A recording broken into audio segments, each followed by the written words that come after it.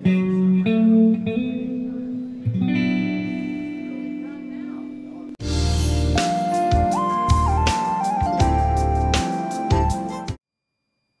guys, Emerson Chewyside, and uh, got a video for you guys, and it's a track guide for Dover Speedway or whatever it's called.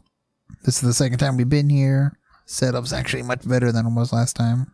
Somewhat feels the same in the center of 3 and 4 or exit of 3 and 4, but it's not too bad. It's actually somewhat neutral, and I don't mind it, believe it or not. So, uh, yeah, best I could do is a 22.8.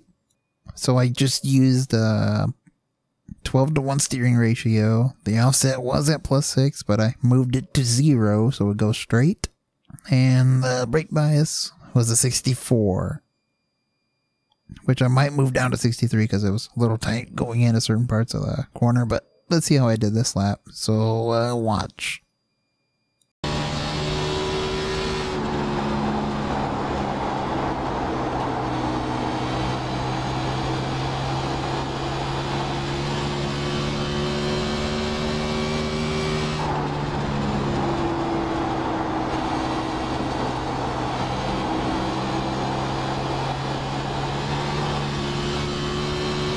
So that's pretty much it for a 22.823, which is, I'm just basing my times off of what I saw in a league qualifying session.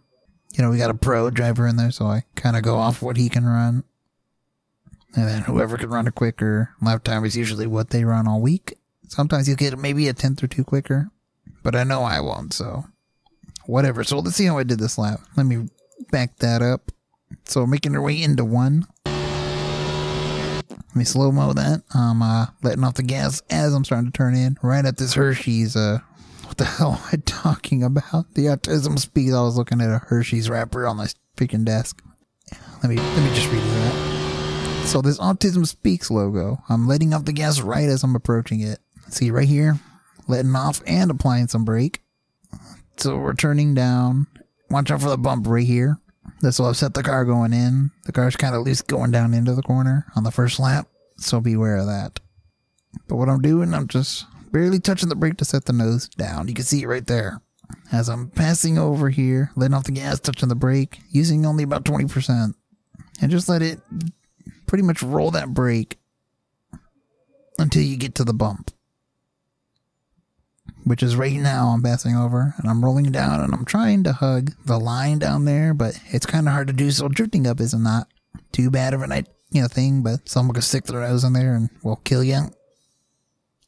So once you feel it set, use the throttle at this point. Don't turn any more than you have to. You can turn the car right here and come back down or whatever, but you're better off just keeping your steering input and use the gas to drive yourself through the entire corner is pretty much what you can see what I'm doing here. So let's just four times slow mo that. You can see I'm hugging the line there from center off.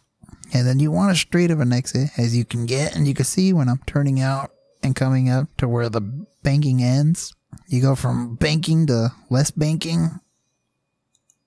And that's where you want to be straight right here. So it's like the reverse of going into one.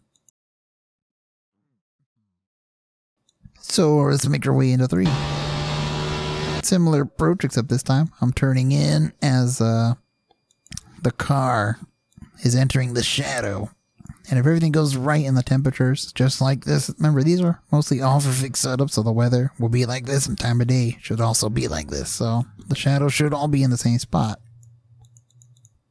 So as I'm entering the shadow, I'm letting off and turning down. Same exact way I did in one, using the little bit of brake 20% until I roll over the bump, which is about on this shadow that I'm rolling over here. So from here, you want to let it roll, get to the bottom if you can. If not, drift up a little bit, try to do a tiny bit of diamonding, meaning you go up and then come back down and exit as straight as you can. And I'll explain this right about here. The car, you can see I'm letting off the throttle. It's because the front end digs, it seems like it's digging in to the ground and it just uh, stops turning. So you got to be already prepared for that, you know. You got to be ready for it. So after that, you just do exactly what you did in 1 and 2. Power off as straight as you can. The only difference is the car is a lot more unstable out of 4 than it is out of 2. And make your way to the line. So that's really all there is to this track. I can't explain anymore 22823 is what I got. Fun track. I actually like this. I was to take a week off, but now that I got to drive this set, it's, I'm probably to race this. Pretty fun track. I think, at least. I don't know. So, like I said, I don't know what else I can say to improve uh, this track. One thing I will mention is don't be afraid to search around in the race for a couple new lines. Meaning, I don't know, I found out in the league race, you can move up a groove or two, actually run a third line after, say, about 15, 20 laps. When the tires really start going away, that's where you can start ex- experimenting, I should say, and trying new lines. So, I don't know, my voice feels like it's going away, but anyways, I'll be back next week. I don't know what track we're at, so uh, watch out for that. Anyways, Sim Racing Chewyside. Yeah.